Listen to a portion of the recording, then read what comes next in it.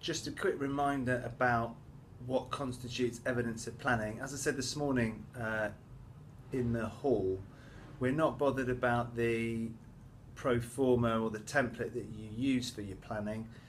The checklist there is basically for you to use to check that whether that evidence is to check that the evidence is, is, is there for those different aspects, whether that is uh, on a topic list, on a scheme of work, on a topic list, but you also know that the Moodle site is quite developed, or they've got Google Classroom, which clearly shows the evidence of planning. So we need a topic list or a scheme of work, but when you are signing it off as to whether the, the planning is there, you're also thinking about the resources, the virtual learning environment, Google Classroom, etc., etc., and all of that will constitute uh, evidence of planning.